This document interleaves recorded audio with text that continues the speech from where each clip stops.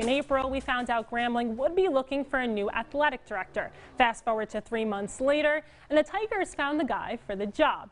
And while they didn't have to search too far, actually right in their own backyard and from one of their biggest rivals. And it's Southern University's Dr. Trayvean Scott who spent the last decade as Southern's Deputy Athletic Director and COO. And while the change from Jaguars to Tigers may raise a few eyebrows, Scott says it was a no-brainer. I couldn't think of a more perfect scenario um, as a, to be a first-time AD. Grambling State University is is is an icon, and so um, if I have to come to Baton Rouge to be a part of, of something that's iconic, something that I believe is special, uh, something that can grow, um, hey man, I'll be here. Um, I'm thrilled to death, tickle pink to be here, and I'm looking forward to what's to come.